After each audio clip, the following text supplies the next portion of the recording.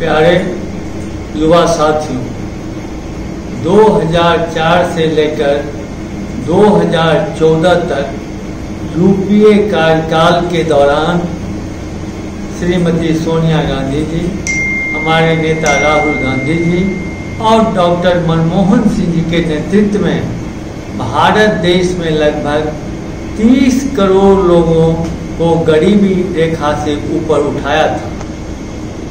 2014 के बाद से मोदी जी ने देश में और नीतीश कुमार जी ने बिहार में लोगों की वापस गरीबी में धकेलने का काम किया है। दो करोड़ युवाओं को रोज़गार देने के झूठे वादे करके सत्ता हथियाने वालों ने युवाओं को दरकार नहीं की और नौकरी या काम के अवसर मुहैया नहीं करवाए।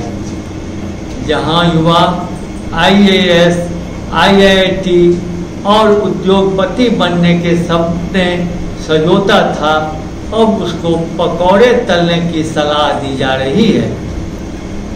बिहार की हालत तो और भी बुरी है। 2020 के आते आते बेरोजगारी दर भारत के एवरेज दर से दुगुना हो गया है। यह हम नहीं कह रहे हैं। यह सीएमआई के 2019 की रिपोर्ट कह रही है। ऊपर से कोरोना में जो मजदूर अपना काम छोड़कर दूसरे राज्यों से वापस आए हैं, उनके रोज़गार के लिए नीतीश सरकार ने कोई योजना नहीं बनाई।